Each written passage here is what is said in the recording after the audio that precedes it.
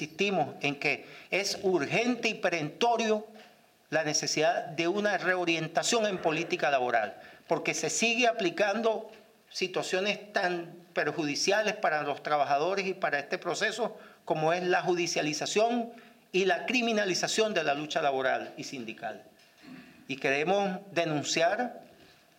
que como consecuencia de la aplicación de, esos, de ese esquema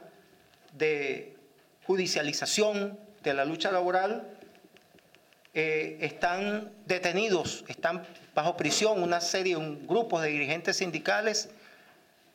eh, trabajadores, dirigentes obreros de la empresa al servicio de la empresa Alentui en el estado Lara,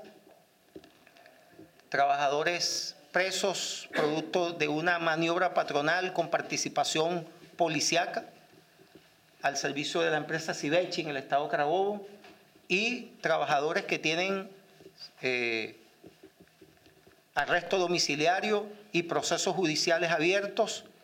al servicio de la empresa, trabajar al servicio de la empresa Souto, del grupo Souto también en el estado Carabobo. Hay otros casos,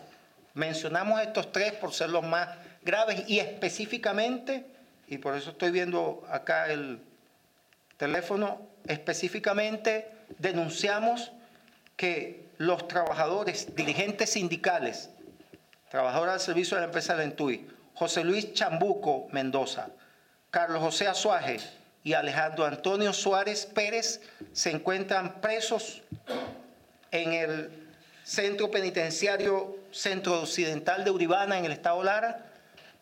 Tres compañeros, tres dirigentes sindicales, con una condena de ocho años y ocho meses como parte de un grupo mayor que fue también sentenciado, pero estos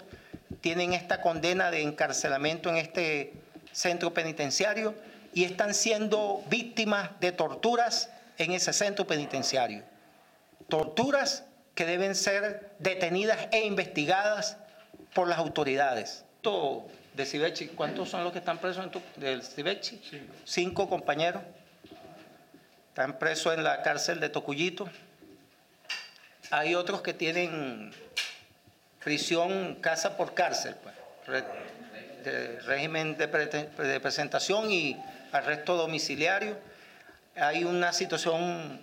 que llama mucho la atención, que en muchos casos se utilizan los tribunales agrarios para iniciar procesos de medidas cautelares contra trabajadores, eh, alegando supuestamente la defensa de la seguridad y soberanía alimentaria, pero realmente están defendiendo solo los intereses de los patronos porque muchos de estos patronos, como el caso de los dueños de Souto, ha boicoteado el derecho a la alimentación, está ofreciendo, y eso fue denunciado por los trabajadores, ofreciendo alimentos en estado de descomposición, trabajando en condiciones de insalubridad, con demostración que se hizo de, este hecho. Y bueno, los que están procesados son los trabajadores denunciantes. Hay 52 trabajadores con medidas cautelares de retiro del trabajo, de suspensión de la relación laboral sin pago de salario contra estos compañeros al servicio de la empresa Souto en el estado de Carabobo, en, en Bejuma. Y bueno, nos preocupa que esto se va convirtiendo en una tendencia, que no es nuevo, porque en el pasado de la llamada Cuarta República esto se usaba continuamente y se sigue utilizando y con elementos de gravedad particular. Entonces nosotros llamamos la atención sobre esto. Y si efectivamente se quiere de verdad reorientar la gestión del actual gobierno hacia un conjunto de medidas revolucionarias, ahí está una, ahí está una. No se puede utilizar el Poder Judicial para aplastar la lucha de los trabajadores. Nosotros pedimos, exigimos que se lleve a la cárcel a los patronos que están cometiendo desacatos, órdenes de reenganche que no son acatadas. Pues esos son los que tienen que ir presos. Y nosotros, el Partido Comunista de Venezuela, responsablemente hace esta denuncia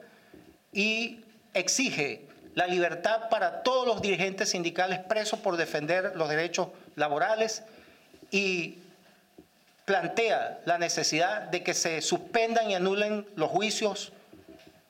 amañados que se están siguiendo contra estos grupos de dirigentes sindicales y delegados de prevención cuyo único delito, entre comillas, fue defender los derechos laborales, exigir y actuar en función de la correcta aplicación de la ley orgánica de los trabajadores y las trabajadoras y de la LOXIMAC, la Ley Orgánica de Prevención, Condiciones y Medio Ambiente de Trabajo.